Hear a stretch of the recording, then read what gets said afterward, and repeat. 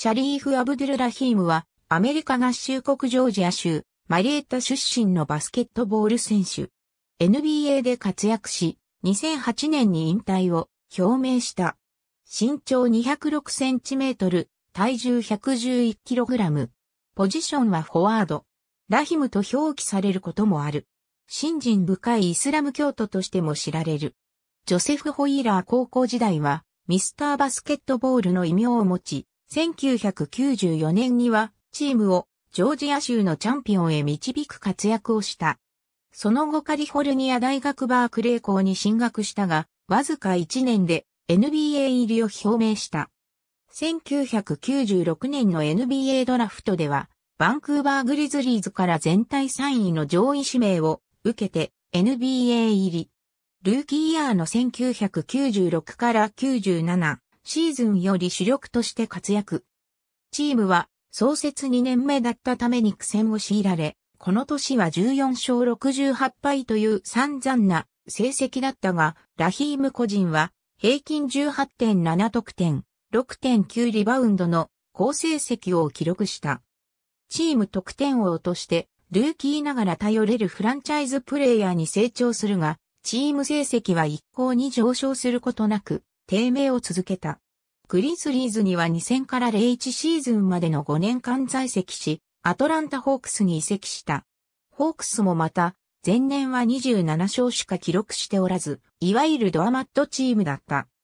ラヒーム自身は移籍によってグリズリーズ時代よりも出場機会が減ったり数字を落としたりすることはなく安定した成績を残し続けたが2001から0にシーズンは33勝49敗に終わった。しかしながら自身初となる NBA オールスターゲームへの出場を果たしたシーズンでもあった。続く2002から03シーズンも同様35勝47敗でプレーオフ出場は叶わなかった。ホークス3年目の2003から04シーズン途中、ラシード・ウォーレス、ウェズリー・パーソンと引き換えに、セオ、ラトリフ、ダン・リッカウと共に、ポートランドトレールブレザーズへ移籍した。ブレイザーズは2002から03シーズンまで連続してプレーオフ出場を続けていたが、皮肉にもラヒームが移籍してきた2003から04シーズンに連続出場記録が途切れてしまう。2004から05シーズンは契約最終年で奮起を期待された年でもあったが、故障などにより54試合の出場に止まり、チームも27勝55敗という悪い成績で、もちろん、プレーオフ出場はならなかった。なお、個人成績は若干の下降傾向にあったが、それでも平均16.8得点、7.3リバウンドを記録している。2004から05シーズンオフの8月、ニュージャージーネッツへのサイントレードでの移籍がほぼ確定していたが、チームによるメディカルチェックによって右膝に問題があると診断された。その数日後、ネッツは契約を破棄。ラヒームは再びフリーエージェントになったが、すぐにクリス・ウェーバー放出で再建中のサクラメント・キングスと契約した。こうして臨んだ2005から06シーズンは先発と控えとして72試合に出場。個人成績は軒並み下降したが、それでもベテラン選手として貢献。